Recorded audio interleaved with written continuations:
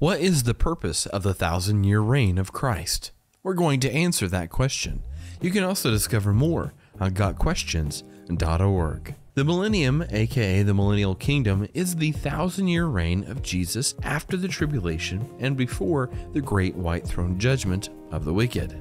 During the millennium, Jesus will reign as king over Israel and all the nations of the world. The world will live in peace. Satan will be bound, and at the beginning, everyone will worship God.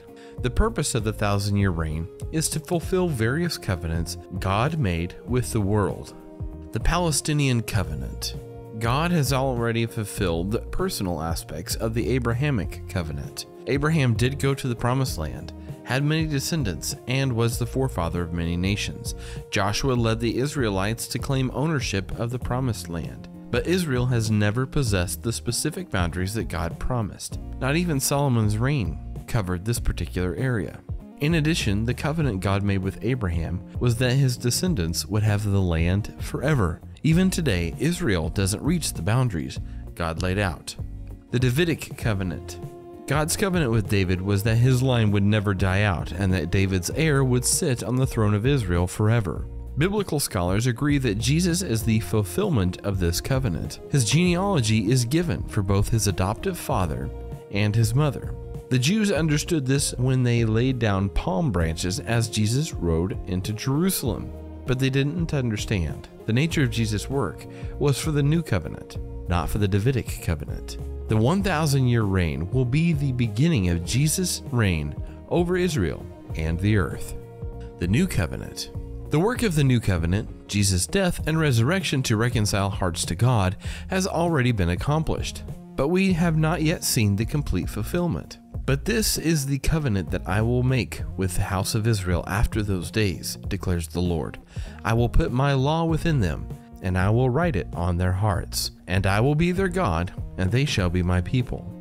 You shall dwell in the land that I gave to your fathers, and you shall be my people, and I will be your God. This covenant does not mean that every Jew will be saved, but it does mean that Israel as a nation will worship their Messiah. All of the Old Testament prophets who spoke of this covenant said it will be fulfilled in the future.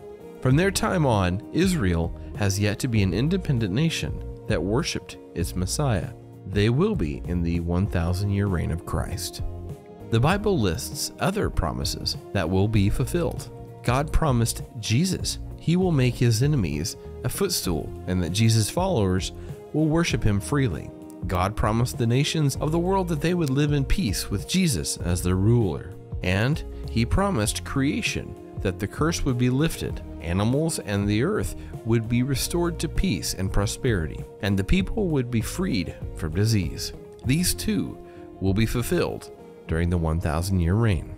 The main purpose of Jesus' 1,000 year reign is to fulfill the prophecies given to Israel and the promises made to Jesus, the nations, and the whole earth. God's covenants were voluntary and one sided. He promised he would bless Israel and restore the world in specific ways, and he will. That answers the question what is the purpose of the thousand year reign of Christ? On our website, gotquestions.org, you'll find a deeper discussion and recommended resources. If this helped you, give us a thumbs up and click subscribe. Meanwhile, if you'd like to study more, click the bell and check out these other questions.